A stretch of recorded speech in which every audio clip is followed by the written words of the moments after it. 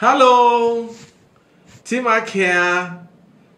To continue the conversation that we started about two weeks ago on customer management, like we said, the customer is the live wire of your organization. And in case you missed it, I encourage you to please go back and watch. There's been two videos already on this, and what did the videos cover? The first one covered the value proposition, how you need to ensure you keep your eye on it, keep your eye on the customer. The second video covered making it a relationship, not a transaction, as well as ensuring that you build an emotional connection with your customers. Now, let's quickly take the last two this week so that next week we could possibly move on to something brand new. And what are the last two points you need to remember when it comes to your customer. Number four then will be when there are issues, how do you deal? No matter how hard you try, it is not unimaginable that there will be service failures, there will be product failures, there will be broken promises, unable to meet the demand, unable to fulfill commitment, when they happen, what do you do? The first thing you need to note about this is that if you've done the first three things we've said properly, if you focused on your value offerings, if you try to make it a relationship and not a transaction, if you have also built an emotional connection with your customers, when there are failures or service disruptions, you are likely going to get a second chance, a third chance, an end chance, but you do not have an indefinite chance. So, when there is a failure, when there are issues, you need to move quickly, you need to move deliberately to get them solved. Don't sit on your bum, don't make promises you are not able to keep, don't compound the problem by turning the customer around. And remember, this is why we keep talking about process, process, process. It has been proven that over 80% of service failure, product failure are process driven, and only 20 10 of that is related to people or people driven. So, when you have disruptions or service breakdown, you need to quickly find a way to fix it. The more important the customer, the higher the speed. And what you are doing is more than just trying to fix the service breakdown, you are also trying to learn, you are trying to find out how you can prevent it, and you are doing everything to assuage the customer. Service disruption can actually become an opportunity for you to have a fan, to acquire a fan, to get a customer that will go across the world and sing your song. So don't see service breakdown as necessarily the end of the world, a bad thing. As long as you can rise quickly, deal with it, and fix it. And one thing you will find out that is very critical in fixing service disruption is that you begin to see clearly the value of the internal customer. Yes, there are two types of customers. You got the internal customers and you got the external customers. Note it for a fact today. Unless the internal customer is happy, the external customer can never be happy. So when there are service disruptions, you need to ensure that all the internal customers rise up, work together to make the external customers happy.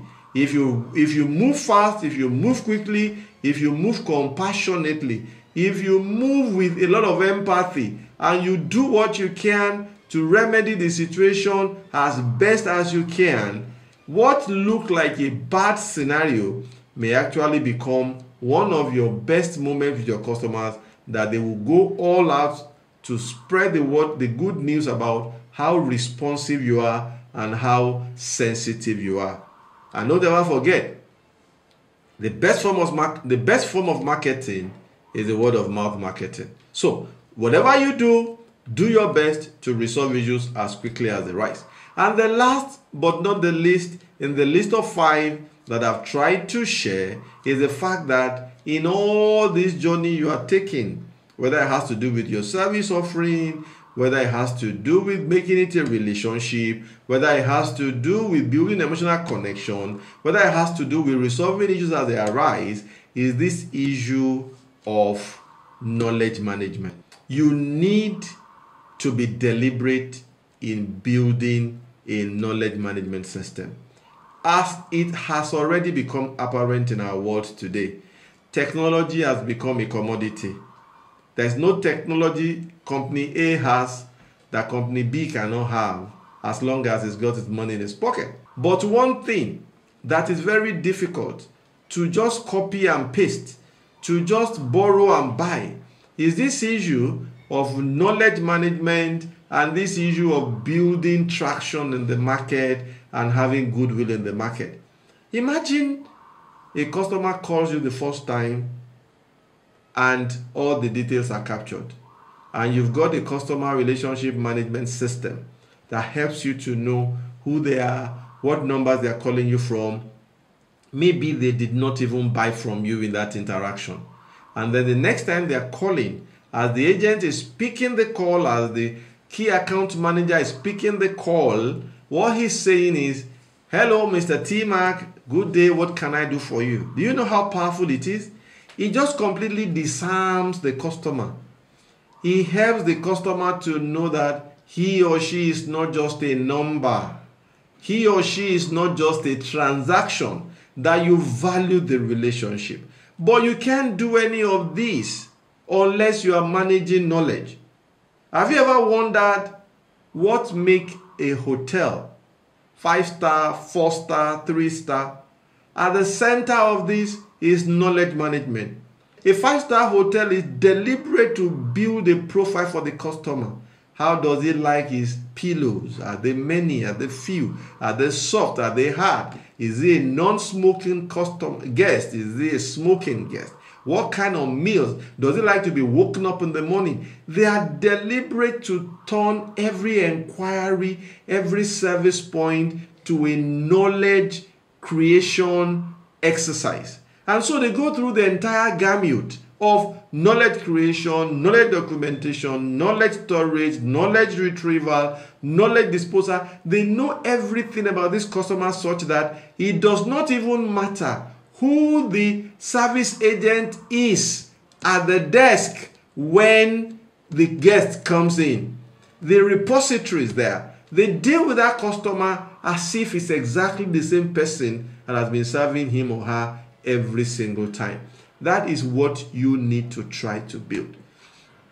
You don't have to invest in expensive technology.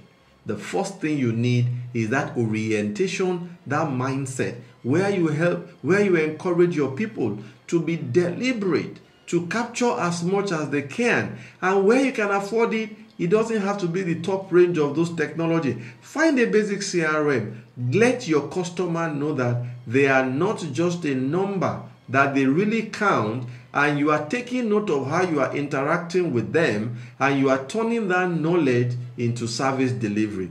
You will be shocked as to how powerful these few tips are and how much difference they make in not just keeping your current clientele or customer base, but turning them into fans that will go out into the world and they will mouth you, they will spread the news, they will paint you, they will position you as a premium brand. Those things are invaluable. One last thing before I go. What will happen to you if you do not look after your customers? Research has shown that it is five to six times more expensive to serve a new customer compared to your existing customer.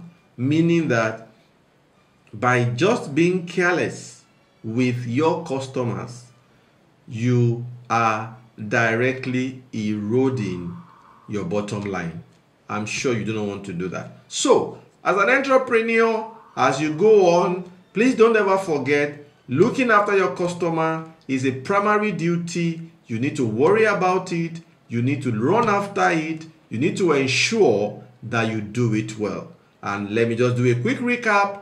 Number one is that focus on the value offering that you are doing. Number two is that make it a relationship. Number three is that have emotional connection with them. Number four, resolve their issue with speed and dispatch.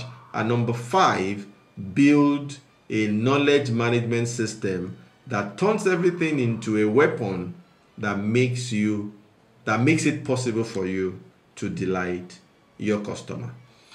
Hmm, thanks for being here once again this week. That will end it for me on this series in which we have been focusing on customer management. I really do hope you found one or two things relevant and useful in what we've shared. If there's still something you need clarifications on, draw us up an email, drop us a message on the Telegram channel, drop us a message on YouTube. Anyhow, you know how to reach us. Please reach out. We are here waiting and willing and looking forward to serving you. And until I come your way next week with a new video focusing on something different, I will like you to please remember to share this as widely as you can because that is one way that encourages us and gives us the energy to keep going. So, until next time on this channel, don't ever forget that T-Mac is still my name and all I'm trying to do is what? Make a little difference. Thanks for being here this week and see you next time. Bye.